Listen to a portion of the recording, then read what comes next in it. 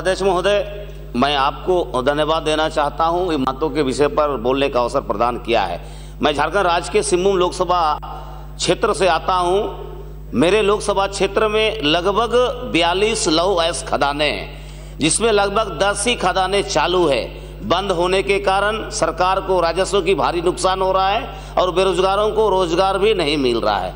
अतः मैं आपके से अनुरोध करता हूँ कि कर्नाटक राज्य की तरह, गोवा की तरह, छत्तीसगढ़ राज्य की तरह या उड़ीसा की तर्ज पर झारखंड में भी खदानें खोली जाए ताकि सरकार को राजस्व मिले और बेरोजगारों को रोज़गार मिले और पलायन को हम रोक सके। धन्यवाद।